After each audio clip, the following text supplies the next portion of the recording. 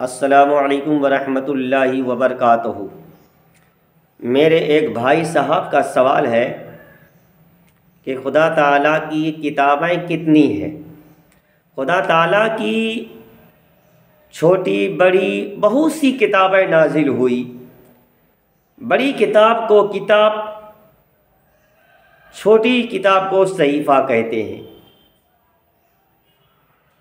इनमें चार किताब बहुत मशहूर हैं। हज़रत मूसा सलाम पे जो किताब नाजिल हुई, उसे तौरीत कहती हैं। हज़रत दाऊद पर ज़बूर हज़रत ईसा सलाम पर जो नाजिल हुई, उसे इंजिल कहती हैं। और प्यारे आका सल्लल्लाहु अलैहि वसल्लम पे जो किताब नाजिल हुई, उन्हें कुरान शरीफ कहती है। मेरे भाई साहब, का सवाल है क्या कुरान, पूरा कुरान एक दफ़ा नाजिल हुआ या थोड़ा थोड़ा?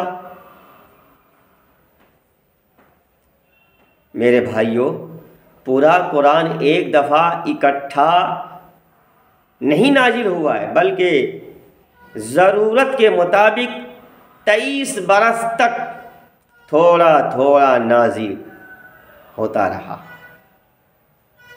क्या कुरान की हर सूरत पर मेरे भाई सवाल कर रहे हैं, क्या कुरान के हर सूरत पर ईमान लाना ज़रूरी है? कुरान की हर सूरत, हर आयत पर ईमान लाना ज़रूरी है।